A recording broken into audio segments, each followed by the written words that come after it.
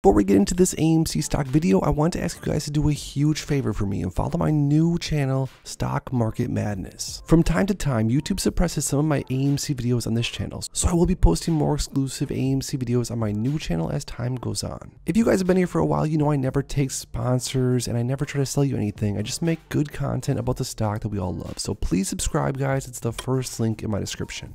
The floor is 2 million, meaning I will not sell you a single share for less than 2 mil. What's with the 500k? How many synthetics do Kenny and friends have to buy back? Neither we or them know. The sky's the limit. If, if you short a stock at $10, it can't go lower than zero. So you can't make more than 10 bucks per share on the trade. But there's no ceiling on the stock. You could sell the stock at 10 and be forced to buy back at 20, 200 or 2 million. And if you guys aren't aware of this, this is pretty basic short selling information, but it's very very important to realize what's at stake here. The short percentage of the float means the percentage of shares available for trading that are currently being held short. And with AMC stock, there is a huge amount of the overall float that is being sold short, and it has been for over a year now. Anything above 10% is at least noteworthy. At one point, more than 100% of GameStop's float was sold short, an excessively high number, meaning every single share that was available to be borrowed was sold short, and some were even borrowed multiple times.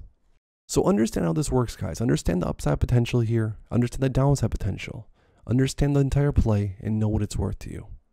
AMC is continually becoming more stable financially and evolving to pros- prosper another 100 years. They are holding down APE and HYMC and AMC to make less money, but they are fighting and losing a battle on several fronts. Buy, hodl, and remain patient. Zen is on the way, apes.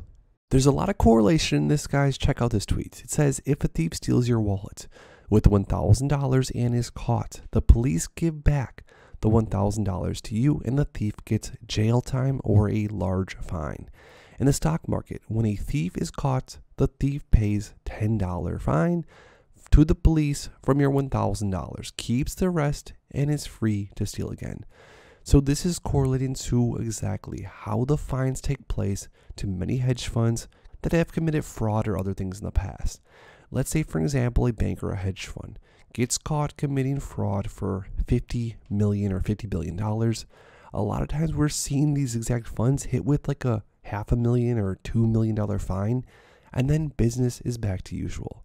How does that logically make sense in any sort of universe?